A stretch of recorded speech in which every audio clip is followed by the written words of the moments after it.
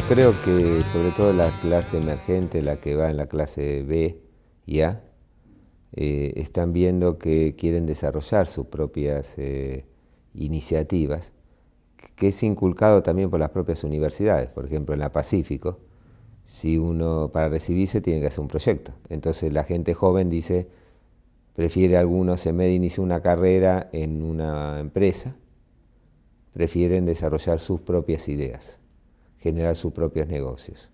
Lo que tenemos que tratar, eh, como le decía a, la gente, es tratar de que esas ideas que se plasmen terminen más en el hacer que en el querer. Adverso al riesgo. Es una persona que asuma desafíos.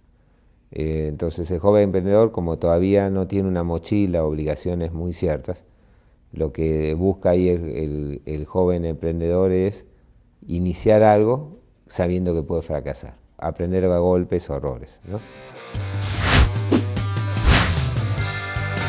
Para poder entender bien a dónde tropezarte, tenés que conocer el negocio desde, la, desde, la, desde el piso, no desde arriba. El comenzar un negocio, ¿qué va a pasar? Va a tener barreras de entrada que pasar, obstáculos que llevar. ¿Cuáles son los obstáculos? Romper sus miedos.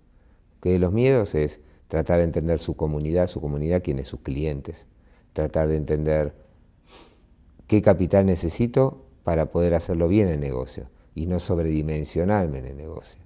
¿Qué tengo que entender? ¿En qué contexto me muevo? ¿Cuáles son las leyes, las regulaciones? No para que yo lo haga, sino para poder entenderlo y si tengo que contratar a alguien que me lo pueda hacer y que yo entienda lo que me está haciendo. Es, es tratar de ir a un mundo que le es desconocido.